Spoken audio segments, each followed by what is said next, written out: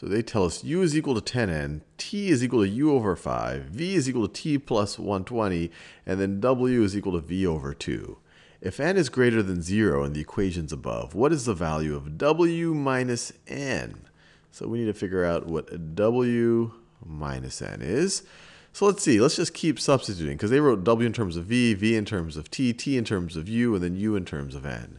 So let's just keep substituting to eventually get this, this w to be expressed in terms of n.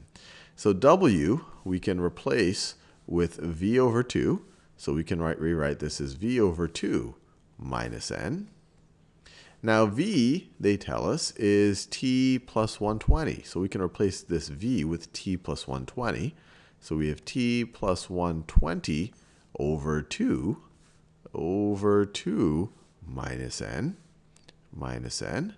Now t, they tell us, t, this is actually kind of fun, t, they tell us is equal to u over 5. So we can replace this with u over 5.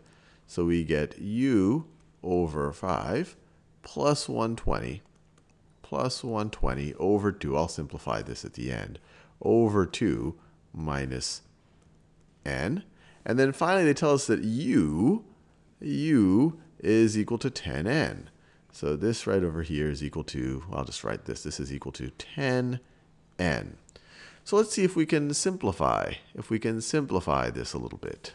So this whole term, let me do this in a new color. So 10n divided by 5 divided by 2. I'm just going to divide. So I'm going to divide 10n divided by 5 divided by 2. That's going to be 10n divided by 10. So actually, let me do this. Let me write it this way. I'm doing 10n divided by 5 divided by, actually, let me do it one step at a time. I don't want to skip too many steps. So 10n divided by 5 is going to be 2n plus 120 plus 120 over 2. And we could write this as this divided by 2 and that divided by 2. And then, of course, we have this minus n right over here. Now, this is n.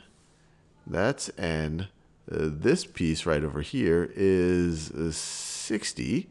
And so we have n plus 60 minus n. Well, n minus n, those cancel out. So we're just left with 60. This thing right over here is equal to 60.